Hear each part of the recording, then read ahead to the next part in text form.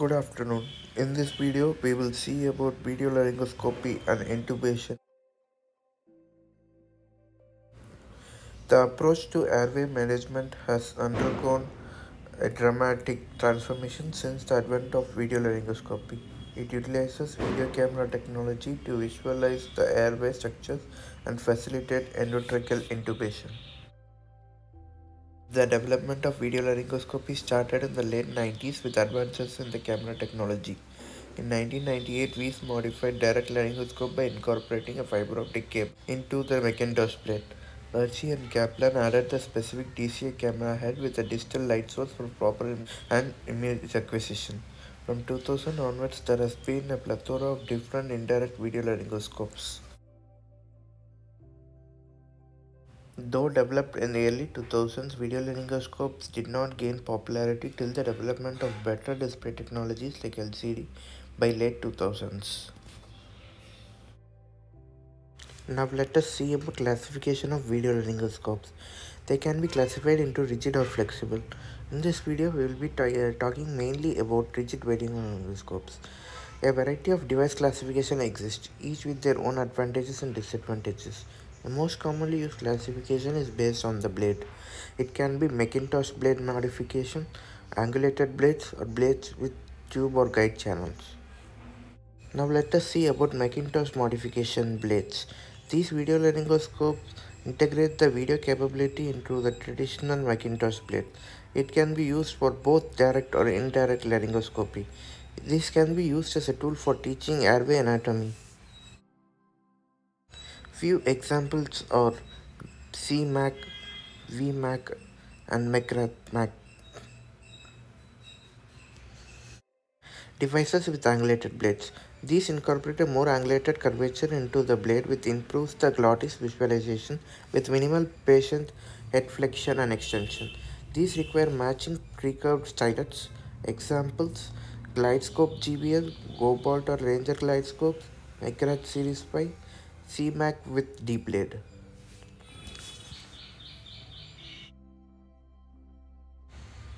Tube or guided channel video laryngoscopes. These use a guide channel to direct the tube into the glottis. Stylet is not required. Examples are Pentax AWS and Airtraq.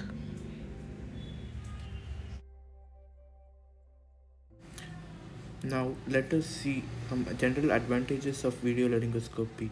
It is unnecessary to align the laryngeal axis for visualization of the glottis. It gives improved glottic visualization in case of limited mouth opening and neck mobility. It helps in cases of less cervical manipulation, provides possible awake intubation and airway assessment, and provides an official record. Now coming to the disadvantages of video laryngoscopy, there may be difficulty in passing the ET tubes despite improved glottic visualization. It may have a variable learning curve. There is a potential chance of weakening of development of direct laryngoscopy skills here. Lack of perception of a difficult airway situation. Obscure view of by fogging and secretions on camera lens. Now we will see the techniques of intubation with we will see about insider video laryngoscope which is a Macintosh blade modification. First step is to check the battery. Next attach the appropriate size blade. Pre-shape the tip of the endotracheal tube to match the curvature of the tip of the blade with an angle of about 30 to 40 degrees. Position the patient in such a way that the head of the patient is in neutral position and the face of the patient is parallel to the ceiling. Look into the mouth of the patient and insert the laryngoscope in the midline. Gently advance the scope past the uvula till you get a glottic view. Lift the scope gently with a force of 5 to 10 Newton to obtain the best glottic view. Now insert the endotracheal tube perpendicular to the patient's mouth and advance it gently till you see the tip of the tube on the screen. Now push the tube into the glottic opening while simultaneously withdrawing the stylet.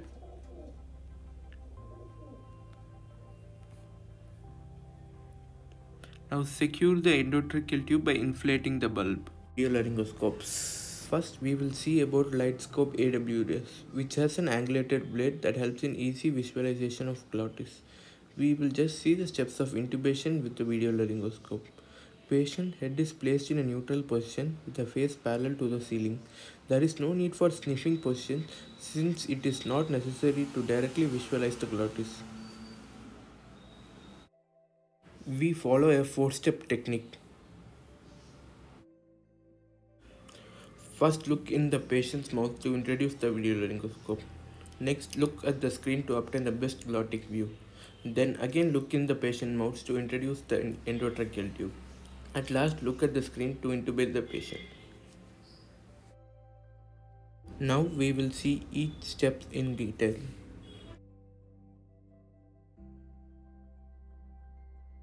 The first step is to look into the mouth of the patient to introduce the laryngoscope and advance the scope gently till the base of the tongue.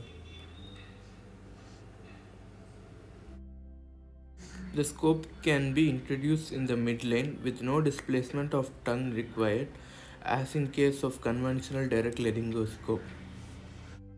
Cut the screen and further advance the scope to obtain the best glottic view.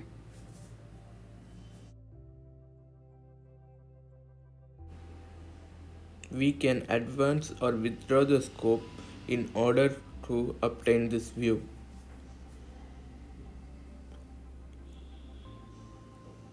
It is better if the glottis is positioned in such a way that it occupies the upper third of the screen. This can be achieved by a minimum anterior pull of the scope. Always look at the mouth while inserting the ET tube because it may cause soft tissue damage since it has a rigid stylet in it. Now again look into the mouth of the patient to introduce the endotracheal tube.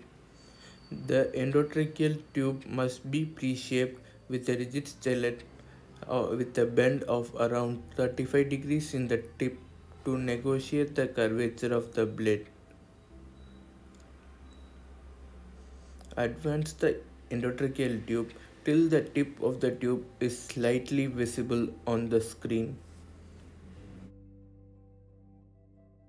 Now look at the screen again to gently push the endotracheal tube past the glottic opening while simultaneously withdrawing the rigid stylet to minimize the soft tissue injury.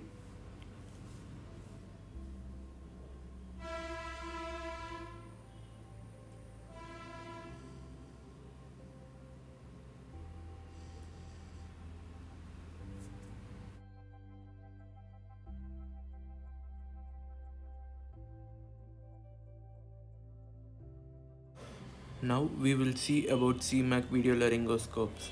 These are similar to that of the traditional Macintosh blades. These can be attached either to an external monitor or can be attached to a pocket monitor. The intubation technique is similar to that of a regular direct laryngoscopy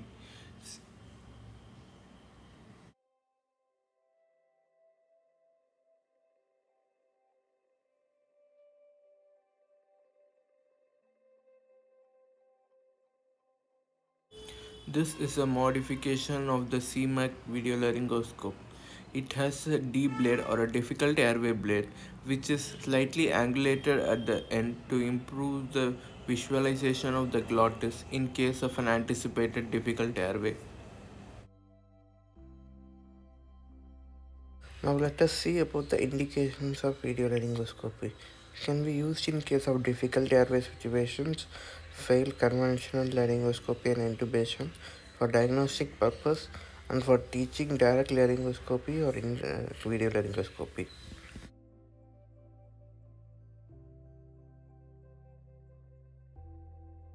Contraindications are a large laryngeal mass obstructing the glottic view or a laryngeal trauma causing cricotracheal separation. There are certain predictors of difficult video laryngoscopy. They are abnormal upper lip bite test, short thyromental distance, presence of a large neck pathology, and highly restricted cervical spine motion. A El-Ganzouri risk stratification index score of more than 4 can be used to identify difficult airway. Now we will see the current evidence of use of video laryngoscopy. In an article published in British Medical Journal by Sharon, they have concluded that video laryngoscopy reduces the number of failed attempts, especially in people with difficult airway, but not the complications or time required for intubation. In patients with cervical spine concern, a meta-analysis of randomized controlled trials published in British Journal of Anesthesiology on alternate intubation techniques versus Macintosh laryngoscopy concluded that Diatrac can reduce the risk of intubation failure.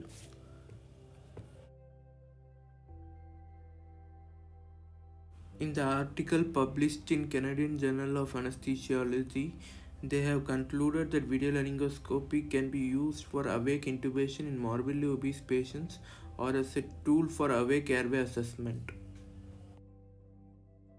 Generally, video laryngoscopy provides a glottic view with CL grade of 1 or 2. But interestingly, in an RCT published by Canadian Journal of Anesthesiologists in 2016, they have concluded that significantly faster intubation time with GlideScope video laryngoscopy when deliberately restricted view of larynx is obtained. This is because when we push the laryngoscope deep into the vallecula to lift the epiglottis, the angle of insertion of the ET tube is such a way that it may hit the anterior wall of the trachea causing difficulty in advancing the tube.